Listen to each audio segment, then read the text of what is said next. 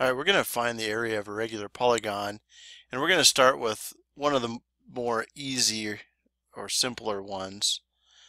Um, we have a hexagon here and uh, uh, let's say usually what happens in a problem like this is they might give you 10 centimeters as the length of all the sides. Regular means that all the sides are the same, all the angles are the same.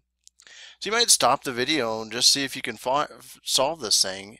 Uh, it involves some trig or some right triangle knowledge uh, or just general triangle knowledge, but see if you can do it. And maybe you've done these before and you're just looking for practice. So here's your chance to practice. Okay, so if you're back with me, um, there's lots of ways to break this thing up. Uh, a lot of times I give this kid to, to my students and just ask them, solve it, see what they come up with. A lot of times I'll break it up into tra two trapezoids. Um, and you know, this is 10 and this is 10. And so it's just a matter of coming up with some angles and coming up with this height here. And you've got this problem whipped. Okay, so that's one way to do it. Uh, and I'm not going to go into that, but there's lots and lots of ways to do this. But one way that the one that's probably the simplest is to just go ahead and split this thing up into congruent triangles.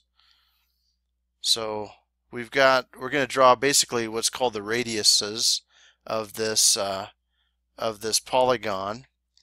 And so if you find the area of one of these triangles, you'll find the area of all of them because you just multiply that by 6.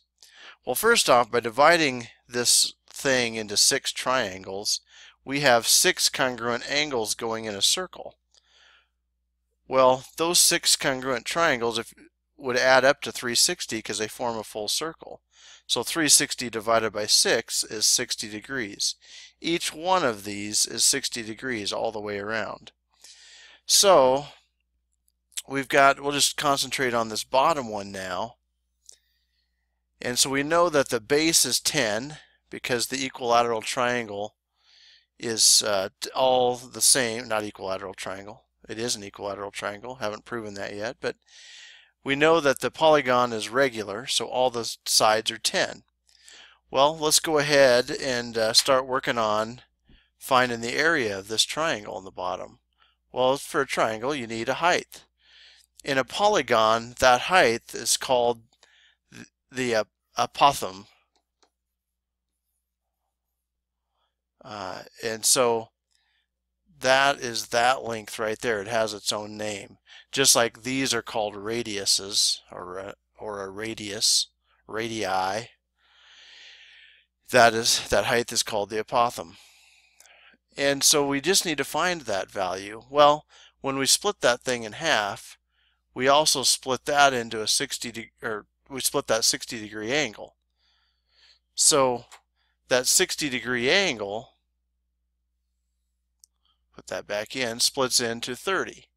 And this is 90 uh, because the radii are the same length. And this short piece is 5. So from here to here, now that's 5 centimeters. And I'll get rid of, let me get rid of some of that trash so it doesn't look so messy. So that there's 5 centimeters. And the top angle is 30. So you can go ahead and um, use SOHCAHTOA if you want. Again, I'm going to use special right triangles. We know that it's one of those things that you really need to get used to. Uh, you don't have to, but I'm just going to pull that apart. That's 30 degrees. That means this has to be 60 degrees because they have to add up to 180. This means 90 degrees. And this length is 5. So we want this apothem. I'll call it A. Uh, so to find that, you can do a number of things. You could use uh, SOHCAHTOA or sine, cosine, tangent. Again, I told you I'm going to use special right triangles. So if, if, you're given the short leg, we know the long leg is 5 root 3. Uh, if you didn't know that, you could, like I say, I would use uh, trig. So if we go from the 30 degree angle here, we'll use this angle. 5 is opposite. Uh, A is adjacent, so that's telling us to use tangent. So we know tangent of 30 equals 5 over a.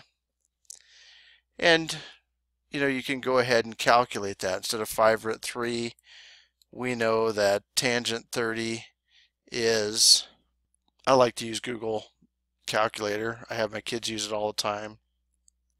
So first thing, if we're dealing with angles, we're going to convert this to degrees right there by touching that. And so it was 30, tangent 30 degrees, so tangent 30 Close your parentheses, just get in the habit of doing that. And so it's 0.5774 as an approximation. So back to my tangent 30 over 1 here, we're going to put, instead of tangent 30, we'll substitute 0.5774 over 1 equals 5 over a, and cross multiply, so 0.5774a equals 5 then divide by 0.5774 on both sides.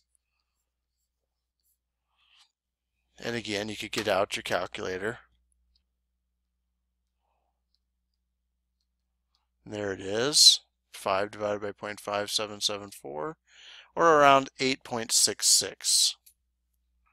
So this 5 root 3 is also the same as point, uh, 8.66. So you could use that instead of the 5. I'm going to go ahead and use the 5 root 3. Because again, college entrance exams want you to have this thing and have it quickly. They're all built so that you wouldn't have to necessarily use a calculator. So when we do this then, we can go ahead and find the area of each of the triangles. So one of the triangles, just to remove some of the clutter, the base is 10, the height is 5 root 3, and so you just take 10 times 5 root 3 divided by 2. So that would be 50 root 3 divided by 2, which is 25 root 3. So every triangle in that hexagon is 25 root 3. So we have six of them, so you take 25 root 3 times the six triangles that we have, and so we only multiply numbers and numbers, roots and roots. So 25 is only times the 6. And so 25 times 6 is 30. 6 times 2 is 12. 13, 14, 15. So 150 root 3. Uh, if you would have used the height we got with the trig, you get about 259.8. And again, that's centimeters squared. So top answer again, college entrance exam. Bottom answer, uh, what you'd need if you're going to the paint store or going to the uh, flooring store because you have this hexagonal room and you need to cover it with carpet. You know how much carp, how many square centimeters of carpet do you care do you cover it with? Well, centimeters. It obviously wouldn't be a room. It might be 10 meters, and so you'd need 259.8 meters squared of carpet. So that's how you'd come up with a hexagon. And so I hope this helps and see you next time.